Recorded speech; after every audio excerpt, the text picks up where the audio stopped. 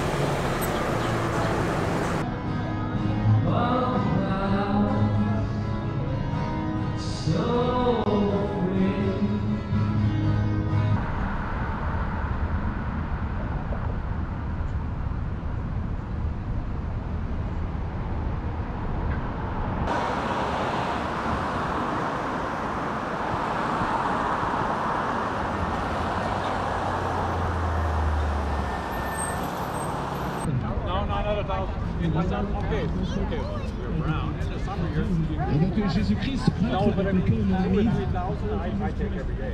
But Si tu peux l'accepter comme Seigneur et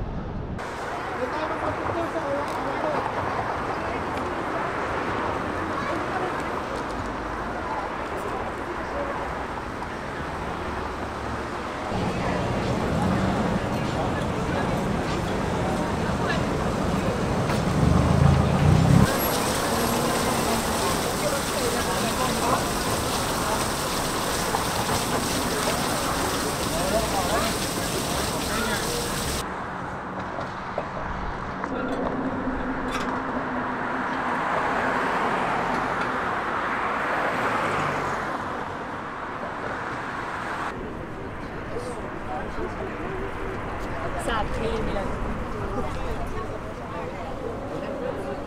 Et donc ça, c'est le musée de la civilisation